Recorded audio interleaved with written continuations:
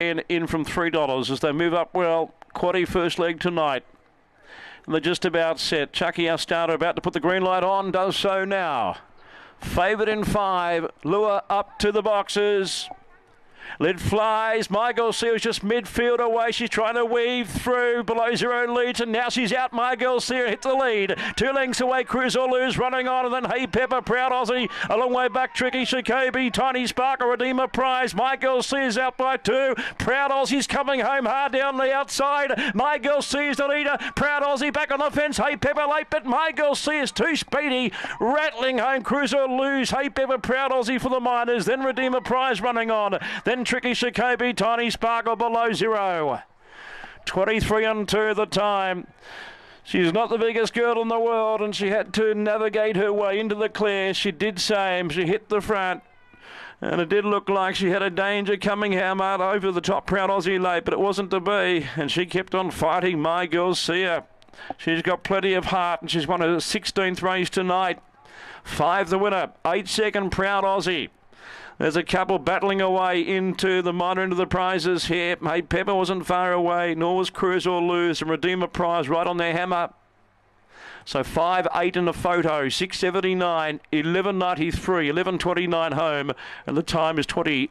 Uh, 23 22, which is certainly outside of her best, but that was, of course, recorded back in July last year of 22.76.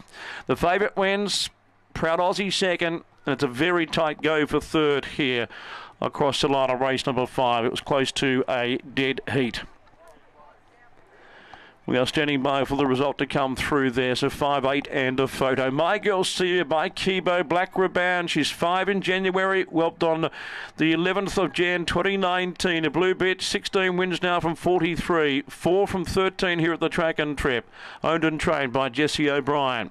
Eight proud Aussie for Darren Northey second by Aston Dee Bee Mums a Pearl and a photo for third. Five eight and the camera. So we are standing by for the third placing to come to hand here. Must be terribly tight for the minor. Cruise or lose, and Hey Pepper look to be the principal chances for that photo. And Redeemer Prize would just miss out on a top four berth back along the inside, I, I do believe. If I can remember them correctly across the line. Cruise or lose, and Hey Pepper certainly weren't too far away behind the top two in the piece, but still 5 8 and a photo. Again, really nicely below zero today, and uh, then Margosia quickly arrested the front after finding some clear room.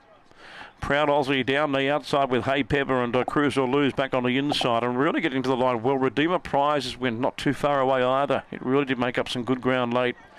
Margosia in front. Proud Aussie got to second.